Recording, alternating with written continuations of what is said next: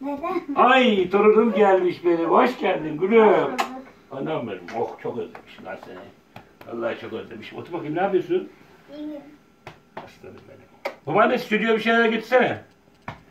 Ay benim kızıcım mu gelmiş? Burada oğlum bak sana e, şey getirdim. Afiyet olsun canım. Birkaç Ha, sen deden şey ben biraz istedim bak. Arkadaşlarım çağırmış. Evet. He. İyi hadi gö- gel de gel hadi. Uzaklara gitme gülüm oldu mu? Uzaklara gitme. Ben geleceğim şimdi dışarı. Buraya. Sakın sesini çıkarma. Sakın sesini çıkarma.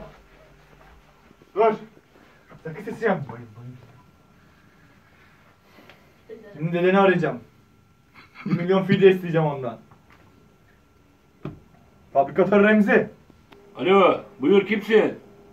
Kim olduğumu boş ver. Torunun elimde. Kim o?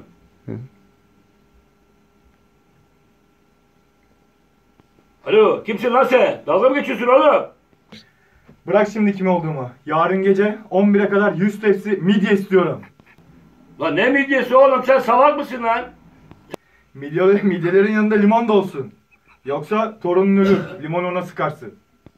Alo oğlum sen bizden dalga mı geçiyorsun? Bak sana inanmıyorum.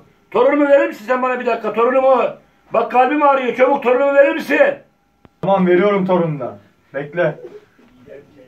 Konuş dedenle. Konuş. Duydum. Bütün midyeleri ayarla bana. 100 tepsi unutma. Limonlarla beraber.